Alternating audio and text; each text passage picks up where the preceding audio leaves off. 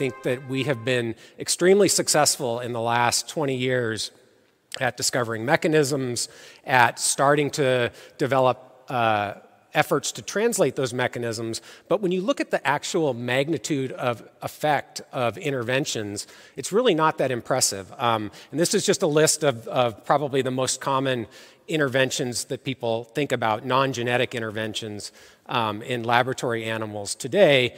And what's indicated here is that the largest magnitude of effect for lifespan is an intervention that was first published 80 years ago, right? Almost 90 years ago. Um, and actually, the longest lifespan extension from a non genetic intervention that I know of is this experiment from Rick uh, Weindruch and Roy Walford that was done in the 1980s, and that's the 65% caloric restriction.